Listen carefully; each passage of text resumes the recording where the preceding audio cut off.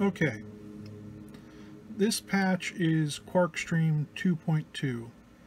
Uh, it's kind of late here, so I can't turn the monitors up too loud, but I'll try and demonstrate it a little bit. Um, what it is is a micro looper uh, that you can randomize in some interesting ways. So right now I have it set up um, to the least random setting.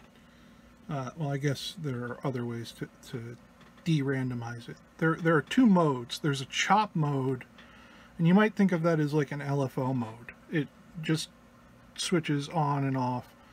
Um, and then if you deactivate that, uh, the recording of the micro loops is determined by a random gate that's clocked by the LFO that controls the chop mode. So um, what that means is it basically flips a coin. And if it hits heads three times in a row, uh, then that loop will be three times as long as the, the clock length. Um, and if it hits heads once and then tails once, it'll sound just like the chop mode.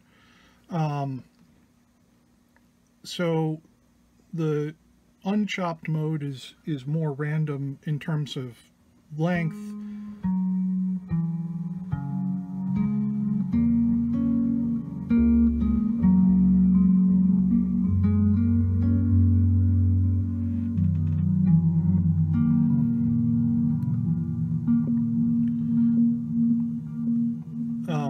you'll get shorter and, and longer uh, loops depending on what this control is set to and larger values lead to smaller loops.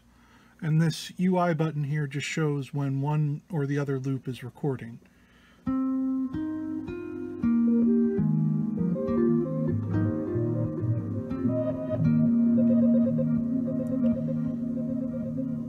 So we get some shorter loops and some longer loops because we're not using chop mode. If we put it in chop mode, everything will be the same length.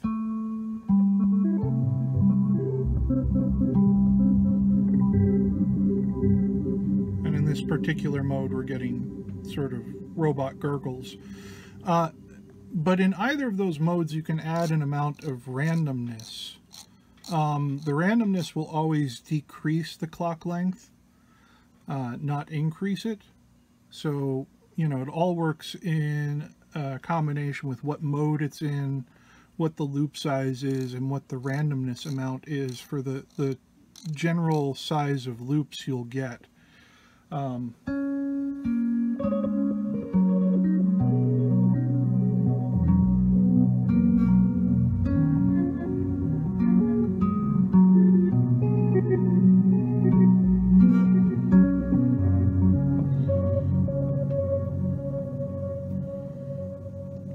Okay, so that's that controls sort of the size of the loops. There's a control called loop chance that controls how often loops are recorded. So, you know, every time that LFO flips or, or that random gate flips a coin, uh, another uh, probability is being determined, which is whether or not that heads or tails leads to a loop being recorded. And you can set that with the loop chance. And when this UI button is dark, no loop is being recorded. So you can get an idea of how the loop chance is affecting uh, your controls.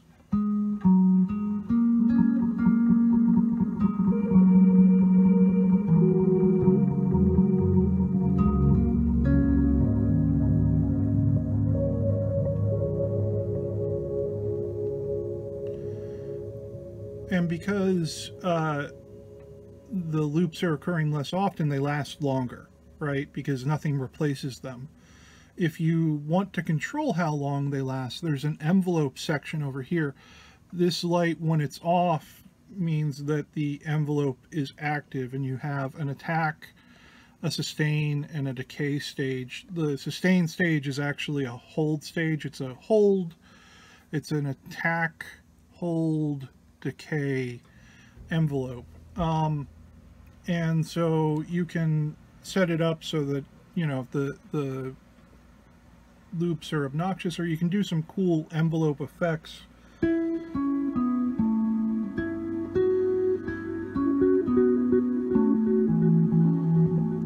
Uh, to control you know how long they persist or or if they fade in or not.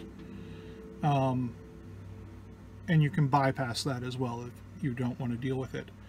Uh, so the loops can also be frozen. This red light when it's on means that uh, the record buffer is being refreshed. Red means recording. Um, but we can also, if we find like a loop that we want to use as a pad or some sort of like uh, drone thing,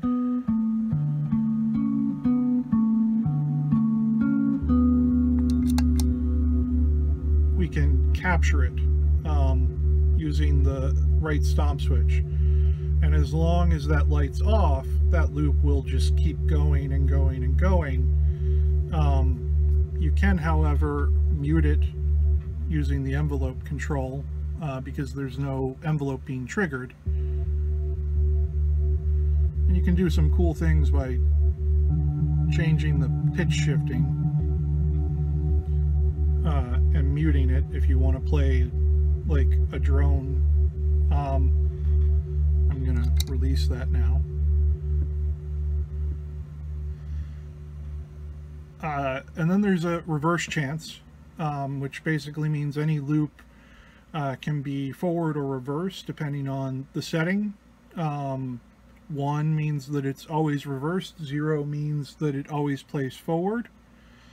Uh, you can turn on and off random pitch shifting. Um, so when this is off, pitch shifting is off. When it's on, no, did I do that right? Yeah, when it's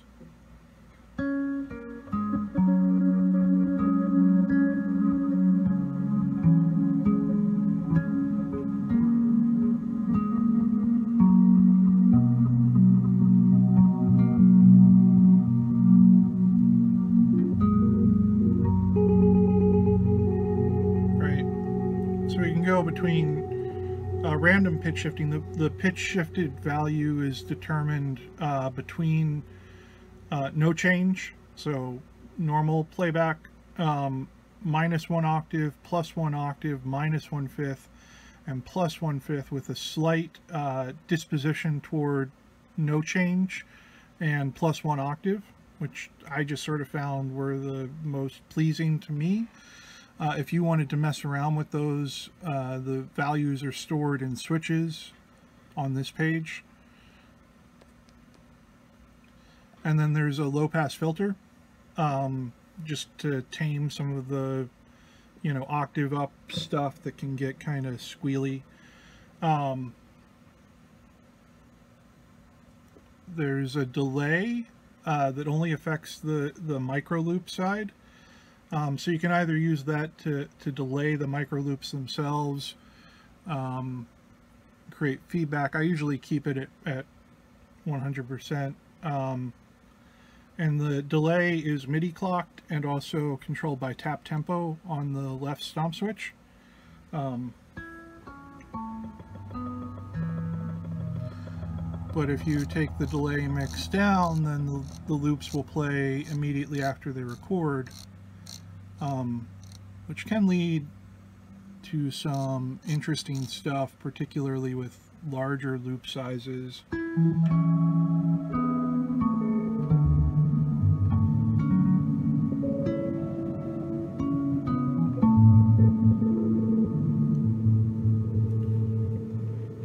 You get sort of trailing glitches.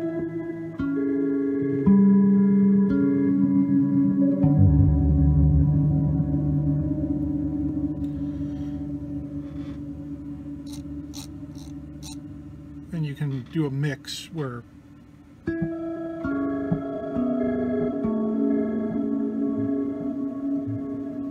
you get the best of both worlds. I'm going to turn this down again a little bit. Uh, and then there's a mix control that controls the mix between the dry signal and the micro loop side. Um, and everything passes through a plate reverb at the output and the plate reverb can be frozen with this middle stomp switch When it's frozen, a white light will come on because it's icy. And you can release it. And that's QuarkStream. It can do all sorts of stuff. I, you know, I mean, I'm, you know, if you push the loop size up really fast, you get sort of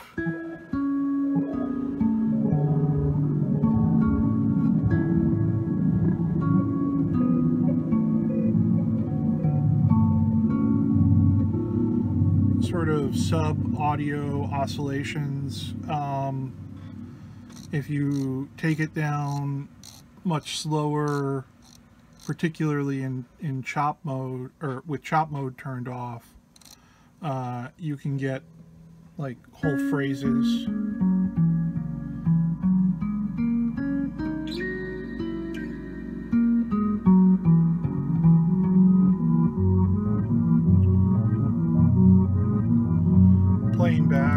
Um,